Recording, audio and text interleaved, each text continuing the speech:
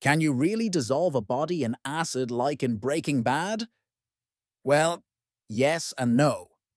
In the show, they used hydrofluoric acid.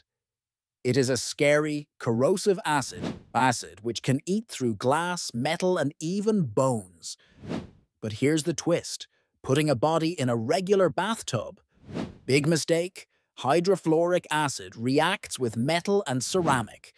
That's why in Breaking Bad, the tub melted through the floor. Realistic? Absolutely. But here's the kicker. Completely dissolving a body takes a lot of acid, time, and very controlled conditions. It's not instant. It's messy, dangerous, and illegal, obviously. In reality, it's more of a chemistry nightmare than a useful hack. So yes, science says it's possible but not practical, and definitely not recommended.